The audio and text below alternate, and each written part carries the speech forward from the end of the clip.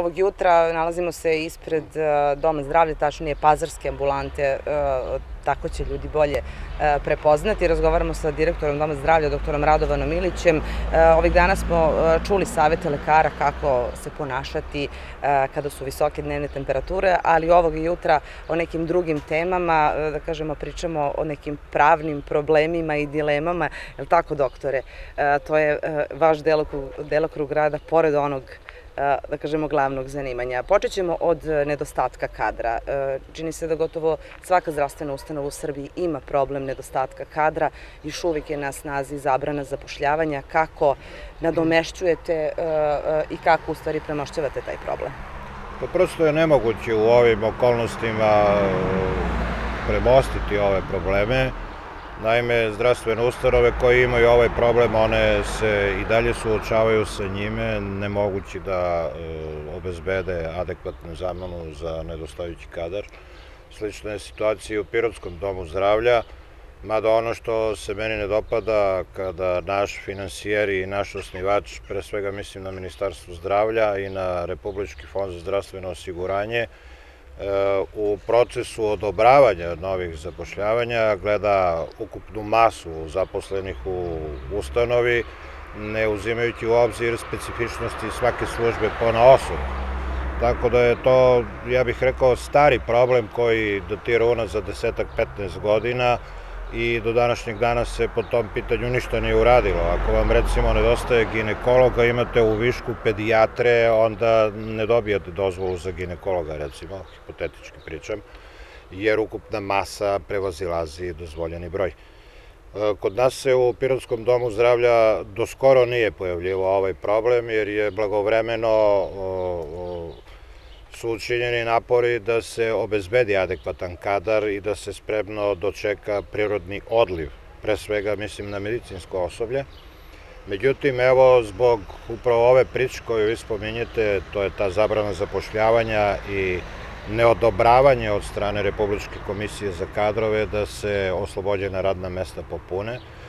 Trenutno u Pirotskom domu zdravljaju problemu služba opšte medicine, jer je tu došlo do osipanja lekarskog kadra, da ne pričamo o onim neplaniranim stvarima kako su bolovanja, ne daj Bože, e, tako da smo mi celo ove godine tu kuburili, jer broj, ukupan broj zapošljenih lekara koji je normiran, e, spao je ispod tog broja, cifre 3 u minusu, i možete i sami zamisliti šta to znači za jednu ovako frekventnu službu prema kojoj je stvarno veliki pritisak od strane pacijenata osiguranih lica.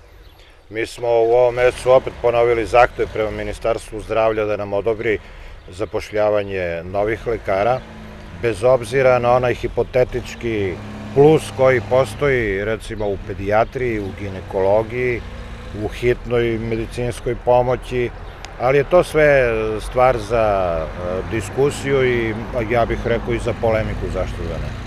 E, koliko, ajde, ajmo da kažemo sa brojkama, koliko e, nedostaje ovoj službi? E, Tri lekara u ovom trenutku službi opšte medicine nedostaje, sa nekim bližim pretpostavkama, obzirom da se tu nastavlja osipanje kadra, u ovoj godini imamo još jednu penziju, u narednoj godini će biti više njih, tako da ukoliko ne dođe do zabrane, do ukidanja zabrane zapošljavanja ili makar E, realnijeg sagledavanja od strane ove Republičke komisije za kadrove, mi ćemo biti u velikom problemu.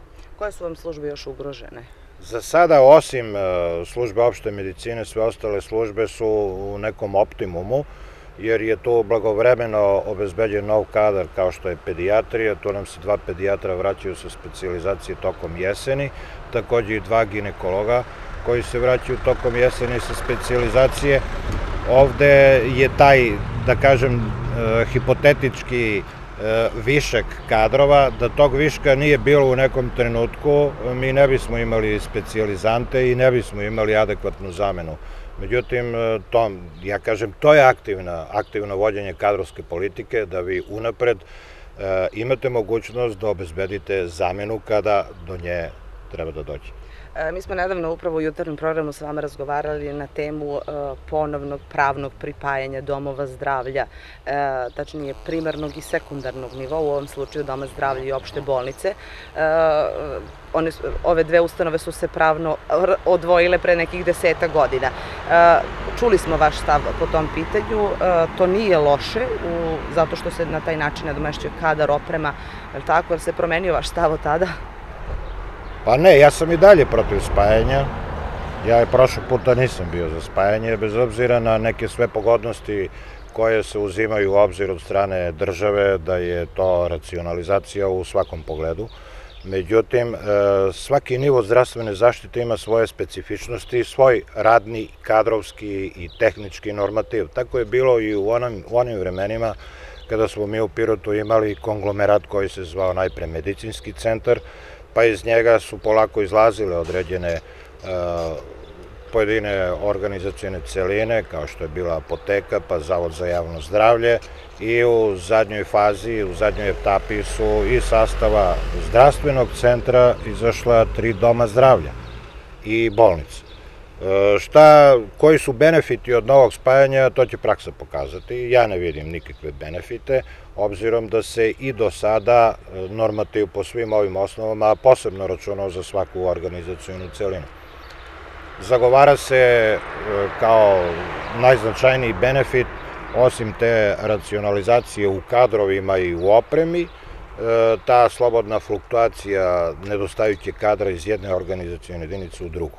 Međutim, mi smo već došli u tu fazu da e, nijedna organizacijona jedinica, bilo primarnog ili sekundarnog nivoa, ne može da se pohvali da u nekom segmentu ima viškove koje bi mogla da ustupi drugoj organizacijonoj jedinici. Tako da po meni ta opcija odpada, a evo ja što stalno navodim kao pozitivan primjer i u skladu sa, sa dosadašnjim zakonskim rešenjima, mi smo u Pirotu imali slobodnu fluktuaciju pedijatrijske službe između Doma zdravlja i opšte bolnice i to funkcioniše.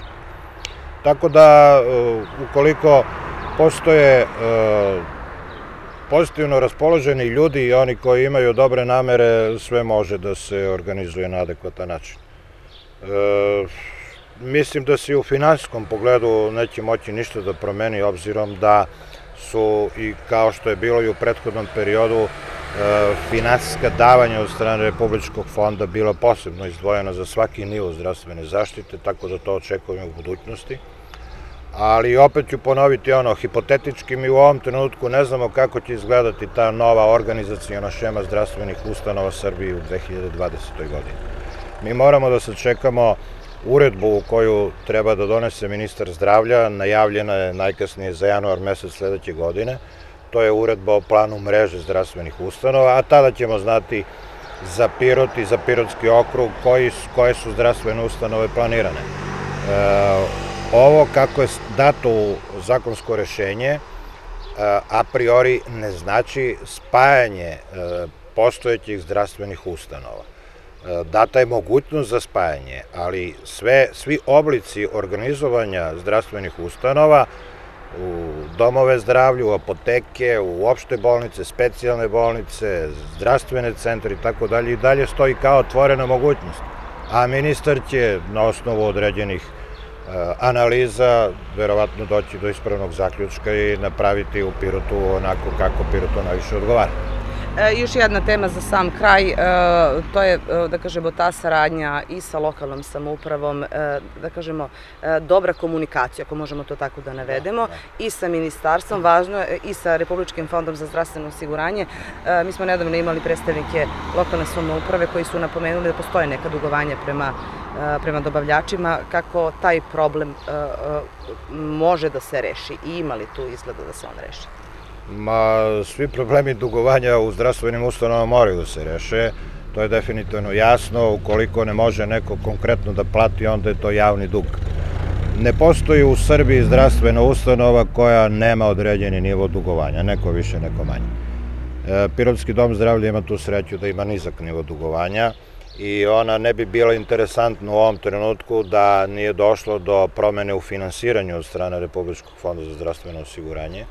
Naime, Republički fond je sproveo centralni tender za snabdevanje zdravstvenih ustanova lekovima sa liste lekova i doneo odluku o direktnom plaćanju dobavljačima tih lekova. Dakle, više neće biti transfera novca između fonda i zdravstvene ustanove, nego će fond direktno plaćati na osnovu naših utrošaka i ugovora koje imamo sa tim dobavljačima.